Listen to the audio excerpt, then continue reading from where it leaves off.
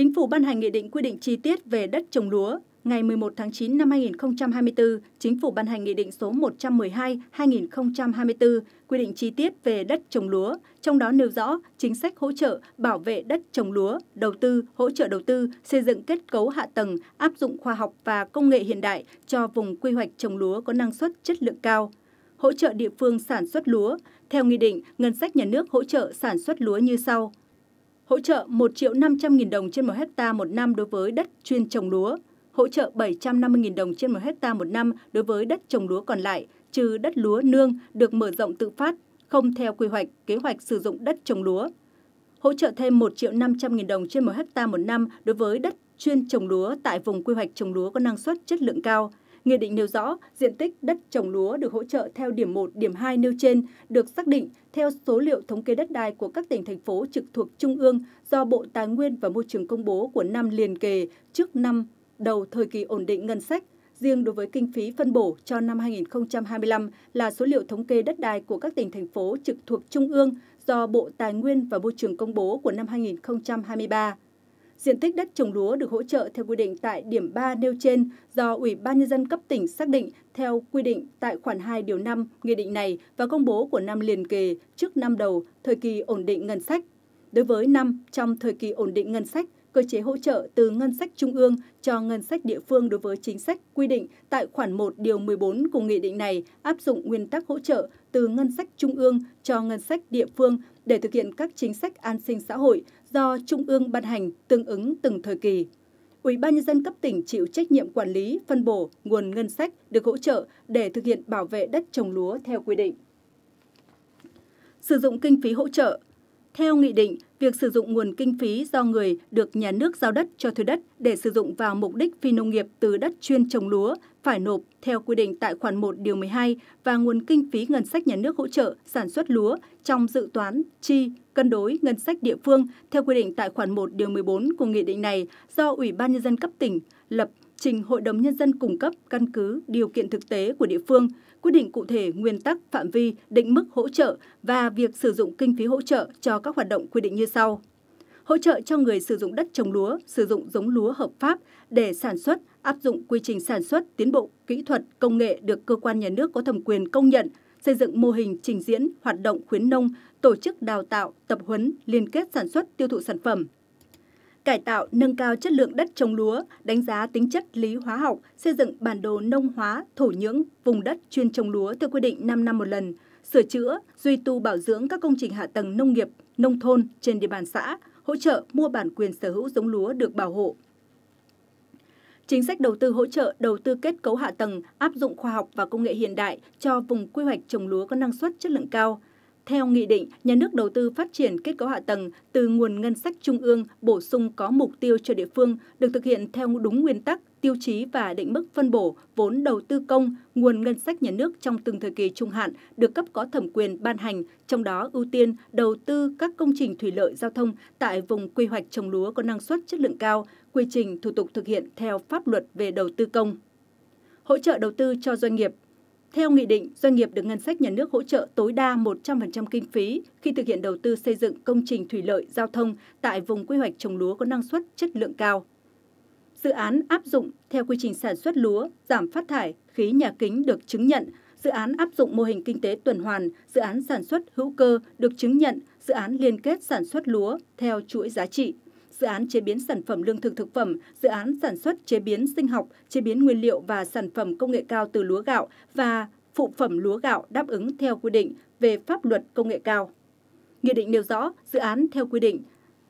phải có diện tích 500 ha trở lên, dự án theo quy định có tổng mức đầu tư từ 30 tỷ đồng trở lên được ngân sách nhà nước hỗ trợ tối đa 40% nhưng không quá 15 tỷ đồng trên một dự án để mua sắm dây chuyền, thiết bị công nghệ, bản quyền công nghệ nguồn vốn, đối tượng, quy trình hỗ trợ, trình tự, thủ tục thực hiện hỗ trợ, thực hiện theo quy định của chính phủ về chính sách khuyến khích doanh nghiệp đầu tư vào nông nghiệp nông thôn. Nguồn vốn và thủ tục hỗ trợ đối với tổ chức kinh tế có vốn đầu tư nước ngoài thực hiện theo quy định riêng của pháp luật. Nghị định có hiệu lực thi hành từ ngày ký ban hành 11 tháng 9 năm 2024.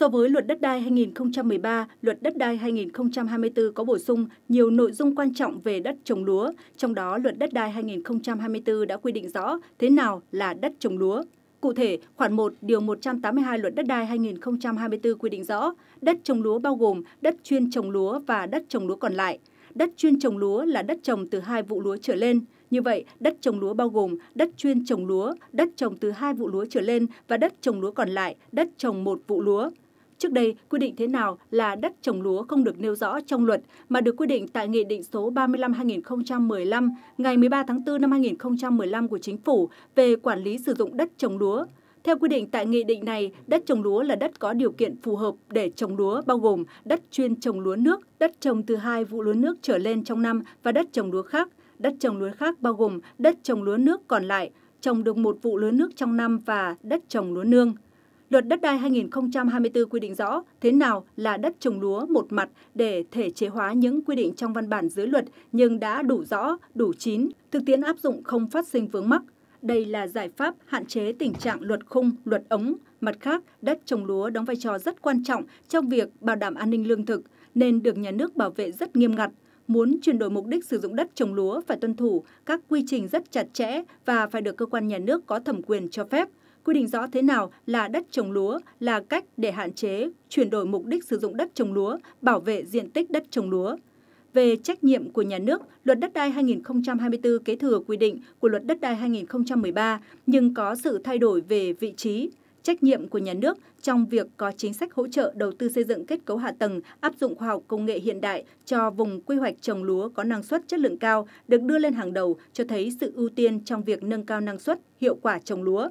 trách nhiệm của nhà nước trong việc bảo vệ đất trồng lúa, hạn chế chuyển đất trồng lúa sang sử dụng vào mục đích phi nông nghiệp trước đây được đưa lên hàng đầu, nay được đưa xuống dưới. Điều này là hợp lý bởi khi năng suất trồng lúa được nâng lên thì với diện tích trồng lúa ít hơn, chúng ta vẫn đảm bảo được an ninh lương thực và các mục tiêu dài hạn khác. Điều đó giúp giảm áp lực bảo vệ đất trồng lúa, nhất là với đất trồng lúa thuộc diện bạc màu, chỉ trồng được một vụ mỗi năm có thể chuyển đổi cơ cấu cây trồng để mang lại hiệu quả kinh tế cao hơn. Nghị định 102 hướng dẫn luật đất đai 2024 có hiệu lực từ ngày 1 tháng 8 đã quy định rõ 4 đối tượng không phải là nông dân và không còn giới hạn quyền chuyển nhượng tặng cho đất lúa. Theo quy định 102, cá nhân trực tiếp sản xuất nông nghiệp là cá nhân đã được nhà nước giao đất cho thuê đất, công nhận quyền sử dụng đất nông nghiệp, nhận chuyển quyền sử dụng đất nông nghiệp có thu nhập từ sản xuất nông nghiệp trên đất đó, trừ 4 trường hợp sau đây. Cán bộ, công chức, viên chức, sĩ quan tại ngũ, quân, nhân, chuyên nghiệp, công chức quốc phòng, công nhân và viên chức quốc phòng, sĩ quan, hạ sĩ quan, công nhân công an, người làm công tác cơ yếu và người làm công tác khác trong tổ chức cơ yếu hưởng lương từ ngân sách nhà nước, người hưởng lương hưu, người nghỉ mất sức lao động, thôi việc được hưởng trợ cấp bảo hiểm xã hội hàng tháng, người lao động có hợp đồng lao động không xác định thời hạn. Trước đây, luật đất đai 2013 không cho phép hộ gia đình cá nhân không trực tiếp sản xuất nông nghiệp thì không được nhận chuyển nhượng, nhận tặng cho quyền sử dụng đất trồng lúa, đất rừng. Nghị định 01 và Thông tư 33 của Bộ Tài nguyên và Môi trường hướng dẫn về việc phải có xác nhận nông dân thì mới được nhận chuyển nhượng tặng cho đất lúa. Nay, Nghị định 102 có hiệu lực đã chấm dứt hiệu lực của Nghị định 01 và các nghị định có liên quan. Luật đất đai 2024 quy định cá nhân không phải là nông dân vẫn được nhận chuyển nhượng tặng cho quyền sử dụng đất trồng lúa trong hạn mức. Nếu vượt hạn mức thì phải thành lập tổ chức kinh tế và có phương án sử dụng đất trồng lúa và được Ủy ban nhân dân cấp huyện phê duyệt, trừ trường hợp người nhận tặng cho là người thuộc hàng thừa kế. Luật đất đai 2024 quy định cá nhân trực tiếp sản xuất nông nghiệp được nhà nước giao đất nông nghiệp trong hạn mức cụ thể, giao không quá 3 hecta cho mỗi loại đất trồng cây hàng năm, đất nuôi trồng thủy sản, đất làm muối đối với tỉnh thành phố trực thuộc trung ương thuộc khu vực Đông Nam Bộ và khu vực đồng bằng sông Cửu Long, giao không quá 2 hecta cho mỗi loại đất đối với tỉnh thành phố trực thuộc trung ương khác. Đối với đất trồng cây lâu năm, giao không quá 10 ha đối với xã phường thị trấn ở đồng bằng, không quá 30 ha đối với xã phường thị trấn ở trung du miền núi. Hạn mức giao đất không quá 30 ha đối với đất rừng phòng hộ, đất rừng sản xuất và rừng trồng. Cá nhân được giao nhiều loại đất trồng cây hàng năm, đất nuôi trồng thủy sản, đất làm muối, tổng không quá 5 ha. Trường hợp được giao thêm đất trồng cây lâu năm, hạn mức không quá 5 ha đối với xã phường thị trấn ở đồng bằng, không quá 25 ha đối với xã phường thị trấn ở trung du miền núi Trường hợp được giao thêm đất rừng sản xuất là rừng trồng, hạn mức giao đất rừng sản xuất là không quá 25 hecta. Diện tích đất nông nghiệp của cá nhân do nhận chuyển nhượng, thuê, thuê lại, nhận thừa kế, được tặng cho quyền sử dụng đất, nhận góp vốn bằng quyền sử dụng đất từ người khác, nhận khoán, được nhà nước cho thuê đất không tính vào hạn mức giao đất nông nghiệp quy định như trên. Đối với cá nhân không trực tiếp sản xuất nông nghiệp, nhận chuyển nhượng, nhận tặng cho quyền sử dụng đất trồng lúa quá hạn mức tối đa là 3 hecta hoặc 2 hecta tùy tỉnh thành thì phải thành lập tổ chức kinh tế có phương án sử dụng đất trồng lúa và được Ủy ban nhân dân cấp huyện phê duyệt. Ngoại trừ trường hợp người nhận tặng cho là người thuộc hàng thừa kế thì không bị giới hạn bởi hạn mức. Như vậy, so với trước đây, quy định hiện hành cho phép cá nhân không phải nông dân được thừa kế không giới hạn diện tích đất trồng lúa. Trường hợp nhận chuyển nhượng, tặng cho ngoài hạn mức phải thành lập tổ chức kinh tế và có phương án sử dụng đất trồng lúa không được bỏ đất trống.